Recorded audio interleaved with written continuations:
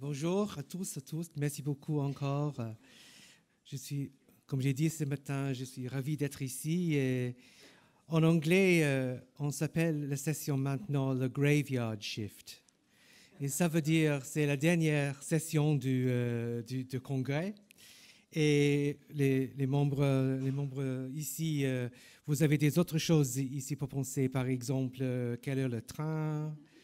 Qu'est-ce que j'ai fait pour souper ce soir, les autres choses comme ça. Et puis, euh, alors aussi pour moi, c'est, euh, je suis conscient de, l'heure parce que j'ai une courte présentation pour essayer de réfléchir les choses que nous avons discutées ici aujourd'hui au Congrès et puis aux conférences.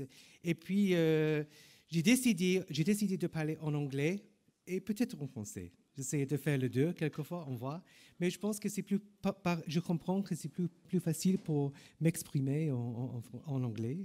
Mais moi, j'ai euh, j'ai 58 euh, ans. J'ai commencé un nouvel emploi en Suisse.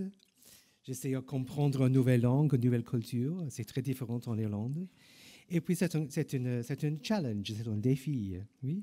Et je comprends bien la, réalité quand je suis dans une réunion et j'essayais de comprendre tout ce que mes amis, euh, mes collègues discutent. Et je, je pense que je comprends peut-être, euh, comme les Suisses ont dit, 70% de, que ça dit. Et puis, euh, mais je comprends, je, ne comprends rien. Et quelquefois, j'essayais. C'est avoir le courage d'essayer de comprendre. Alors, pour ma discussion ici, euh, j'ai un overview et je, euh, je pense, je parle anglais maintenant et lentement. Merci beaucoup. I have three things I want to address. What are the key challenges and what are the solutions that we need to find for the future of palliative care? What are the global messages that the speakers have given today for palliative care in France, but also globally? And what is our future? And by our future, I mean the future of soins palliatifs uh, francophones, the people who in this room today will be the future of palliative care.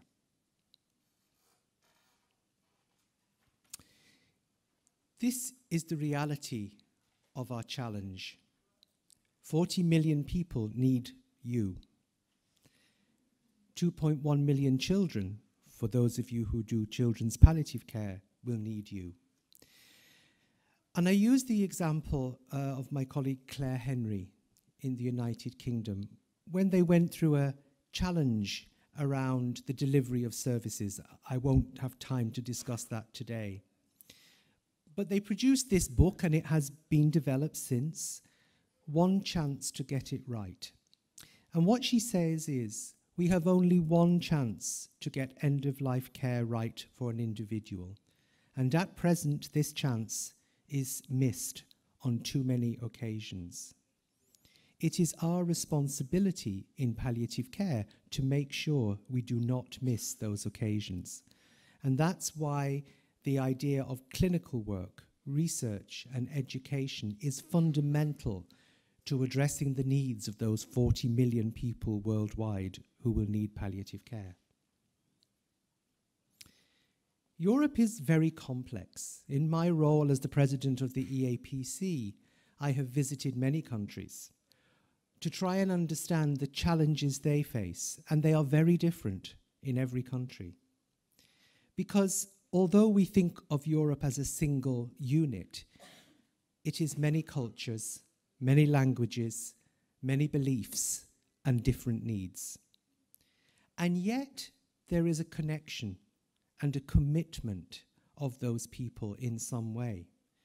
There is a strength in how they choose to come together.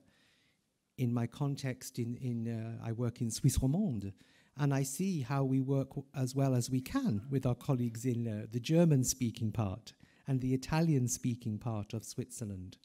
And we can sit in a room and speak three languages at the same time, four if you include English, and we have a common understanding. Not always, but usually we find a solution, and that's what's important. I don't know what that will mean. I know what it means for my country, Ireland, and it's a challenge. But we need to embrace what that will be because in the future, irrespective of what happens, people will still need palliative care in Britain, in England, and we are still part of that European family who believe that what we do together is better. So, whatever happens politically, the care of people who have palliative care needs does not matter about a border or a frontier. Sometimes the language is confusing. The EAPC utilized this word one voice, one vision, uh, une voix, une vision. And we try to consider that because that's what we hope we will do. It's not always that easy because we live in a world of many languages, languages that are often spoken, and then the things that we don't understand. The example I often give is in Ireland, is the word to say yes. If I ask you to do something in Ireland and you say, I say yes immediately, it actually means no. what you need to wait for is the little gap between you asking me, me thinking about it, yes, I'll do that, then it will happen. If I say it straight away, I guarantee you it means no. Now, you wouldn't know that because you're not Irish. So within that, you have to understand the nuance of culture, which influences how we do our work. I'm having to learn that now. I am quite sure for my colleagues in Lausanne, it is very hard for them to understand how an Irishman thinks. They're learning. It's good. We know in the way our services are delivered, there are strengths and weaknesses. And some of those we have tried to address. We know that palliative care can benefit our patients and their families. We know that in where we do not have early intervention of palliative care, it can sometimes be a weakness in how the patient experiences palliative care, how they are they find palliative care, how they understand palliative care. And one of our greatest challenges across Europe and indeed across the world is that the language we use to describe palliative care is not clear. There are many ways to describe it palliative care, terminal care, supportive care, end of life care. I, there are many different concepts attached to those, which makes it very confusing. So we need, and, and the thing I find most interesting is if you look at the way in which, for example, we refer to palliative care in French as soins palliatifs. It's a derivation of an English language word, palliative care. It's been, it, it's been translated into French, but is the meaning the same? De soins palliatifs and palliative care mean the same thing. And at one level, yes, and at another, I see difference in the way in which it's practiced and understood. So, one of the things we need to do across, certainly in Europe, is be clear about the language of what palliative care is and palliative care is not. One of the main things that we see today is palliative care as a public health issue. The WHA resolution strengthened that so that we see, and this is very much around the message to the ministers, to our political uh, agencies, to say it is essential that you place palliative care within the structure of your healthcare system, because in that way, people will be served better in terms of their care at end of life and in the period that leads up to the end of life. One of the challenges is often where palliative care is seen as something extra or something nice that you can give people at the end of life. It isn't that anymore. We have to change that message. Primary palliative care is probably one of the most important things. Where is Sebastian? I know he's here somewhere. Bonjour. okay, Scott Murray, Sebastian, they lead on this for EAPC. They are providing us with a, an excellent model of early palliative care and intervention. We need to think about that. And the reason we need to think about that is because people live in community. They don't live in isolation. They live in towns and villages. They live at home. Some people choose to die at home we need to see what home means. And there have been some very good studies which have tried to, to, to look at that. we know that early palliative care can make a difference because we can see on the right of this screen how, as our population age, and, and Professor Higginson has referred to this, we are going to need more palliative care. We need to think outside our box. We need to think about new ways of practice because that's the only way that we're going to be able to do that. And that's why we use the language of universal coverage.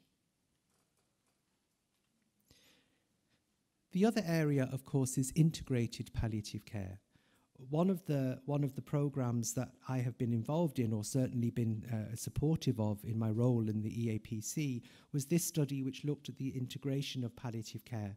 And, and what this tried to do was it tried to show what were the things that actually influence the integration of palliative care. It tried to provide a definition. We've seen today in a number of presentations how difficult that can be. But within this, I think there's a couple of points that i w- I've highlighted in green. That integrated care is around continuity of care. It's not something that just happens now. It's allowing and enabling the patient and family to see that we're supporting them along a pathway of care. It's about a well supported process. That's the multidisciplinary team. That's the people who will be able to come with their different skills and different backgrounds, whether they're a professional caregiver, uh, a, an aide soignante, uh, bénévolat, whoever it is, these people are coming to provide that as a group. So we, we consider the team approach most important. But we also are very conscious that there are caregivers who are both paid and unpaid. And one of the questions that we will need to ask with things like migration and, and emigration and moving between countries across those borders is who will provide the care in the future? It's a question I ask myself who will provide the care for me when I need it? Because I will be, uh, you know, when I'm 75 or 85 and I'm looking for a nursing home, who will be the people to provide that care? What we need across Europe, of course, are practitioners, people who do the job. And there are three things I try to teach students that we need from them. One is the ability to think critically and to question. And sometimes, for some groups of people, they haven't had the formation to understand why you need to question things. So you have to teach them it's okay to ask questions. They need to be able to make judgments. They need to be able to make wise judgments, and that's why I put wisdom. And in fact, I had a journée ouverte in Lausanne last week, and we talked about um, we talked about la sagesse incarnée, an embodied wisdom, because that was absolutely essential to how the palliative care team saw themselves. Our decision making is about la sagesse incarnée. I use this image not to shock you, but to try to explain to you something about what we do in palliative care. Because one of the greatest challenges that we face is migration. People who are coming from countries where they need to find care and support elsewhere. And the image I'm showing you is really something about our work in palliative care internationally. The soldier witnesses suffering. Each day, as practitioners, we witness suffering of other people. We witness that suffering, but the most important thing is we do something about it. We move to action. And he picks that child up and he moves that child to a place of safety. Every single day, irrespective of your professional background or whatever role you play, you do that every day. You witness someone suffering, you do something about that, you move them to a place of safety and care. And if you remember that, it will answer the question of why you work in palliative care, because you have a response to the suffering of other people. It is a human right. We know that palliative care is a human right, but attached to that is that palliative care is also a question of social justice. That we have people should be able to access what they need when they need it. And we have a voice to do that. That's why advocacy is a key component today of palliative care messages. I'm not going to talk about the EAPC because I hope you know who they are.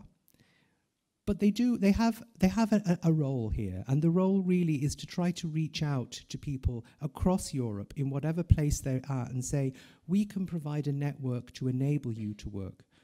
For us to work with the SFAP, for us to work with FISP, for us to work with the organizations who are trying to develop things on the ground is critical to our survival as an organization. And most important are the two things, the, or the three points at the bottom of this slide we value interdisciplinarity. We value who you are and where you come from. We respect your diversity and we're willing to work collaboratively. And that's why part of this is to say EAPC wishes to try and find ways to strengthen that collaboration through days like this to enable palliative care here in France to strengthen it, it isn't starting from the grassroots. You have an incredibly strong movement here. I'll talk about that in a moment. But it's to see what we can do to make sure that it is incarné, that it is embedded in the healthcare system. So, what are the messages from our speakers? Well, Professor Leger spoke about two things meaning and connection that means we also have a responsibility to connect to ourselves. We have to start that search within ourselves. And part of that is also being clear what is the reality of our giving care to other people? How do I care for myself if I am giving care? So, some of the work in palliative care has got to look at how we care for ourselves and each other as caregivers of palliative care. Because if you keep giving, and you don't find a way to replenish that, then you risk things like burnout, which is a terrible loss, both for palliative care and also for you. Michael talked about advanced care planning, and the word I took from his lecture was we need to talk about it. We need to have those conversations, and we need to have those conversations early. We don't leave them until the last minute. Whether you choose to write it down, I think, is, a, is sometimes a societal issue or a cultural issue. But the most important thing is we need to talk. And we as practitioners have a responsibility sometimes to lead that conversation, to bring people to a point where they realize what's happening so that they can have that conversation. I found a nice picture of a dog in Switzerland. I'm very fond of this dog. I think the one of the most important messages I took today is about respite care. Because I was m- very moved by the presentation today, in the sense that I feel that we have, a, in palliative care, a risk of losing the value of respite care as part of the package of care we offer. It was always there. I'm nearly 30 years in clinical palliative care over many jobs. And I always remember palliative care patients coming for respite but in more recent years, that hasn't happened because the patients are more complex. It's much more difficult to find a bed for them because people are too unwell. Or the staff say, we haven't got the capacity to manage a complex sick patient and somebody with respite care as well. So the reality is there's more pressure on families to provide that care. And so we need to think about how do we manage that? How do we shift that thinking so that respite care, which is absolutely vital to the health of the community providing care, does not get lost. And so I raise the question if we don't have palliative care, respite care, have we lost something we need to reclaim? One of the things I heard from Ros Scott today and from my other colleagues is the voice of the volunteer. And in many ways, for me, the EAPC have been developing work, particularly around volunteering, with a charter over the last four years of my presidency. And one of the key issues there is that the volunteer is a voice of the palliative care organization. We need to change the text. And by that, what I mean is the volunteer is not just the lady who does the flowers. That's a really important role, but they have much more to offer us. And the reality is, for our future in palliative care, we will not survive without our volunteers. So, for those of you who are volunteers here today, thank you for what you bring to us, because often you are the voice that tells me what the right decision is, because sometimes you can get lost in that clinical complexity. Thank you. Yes, I agree. Um, I'm not even going to begin to try to say uh, anything about Professor Higginson's presentation here today because she said it all. I've, I've very little to say, except perhaps my little fil rouge, if I can add it, which is around collaboration. The key word there is around how do we collaborate. And the only way we can do that is we need to go beyond the frontier. We need to move beyond the border and not let language be a barrier that prevents us from doing that. We, we will find a way. People can find a way to communicate. Um, I know from my experience and from working with my colleagues in Suisse Romande and also here in France, the quality of what you do and what you write in French is exceptional. What we need to do is to get that message translated, and I don't mean translated necessarily just in English, but translated to the wider world. Because I have been to many SFAP congresses, and I have seen things that I have never seen in other meetings in terms of the quality of the presentations, the the deep philosophical debates that you have around palliative care, somehow we need to get some of that translated into the deeper models that we, we provide, as well as the high quality clinical work and research that you do here. My question to you is where is the next generation of researchers, practitioners, and teachers? Because we're all of a certain age, as I speak to myself, and therefore I know where my retraite will be happening, and I can see it. It's just about here. And the question is I'm sure a few of us are probably about here. So the reality is, what will be after that? How have we trained the next generation? They will be the people who learn to speak English better than we, the little ones, the ones at school. How do we get them through to a new world? And our future. Well, I think there's three points very quickly. We need to have one which remembers. The picture on the left is where I trained as a nurse a very frightening, scary experience. But the one that's important to me, which shows how we've changed, is the picture in the middle of the nurse holding the medication. And the reason I say that is this was a poster that was from the 1940s, and it specifically refers to the word dope, D O P E. Now, in English, that means stupid. And what that says is, to one who is ill, here's the dope. There's an implication there that nurses are basically stupid and they're just there just to carry things. That's changed. It's changed in many, many different ways because we work with our patients in many different ways. So we need to make sure we've got those messages, but we are changing and we're looking to the future.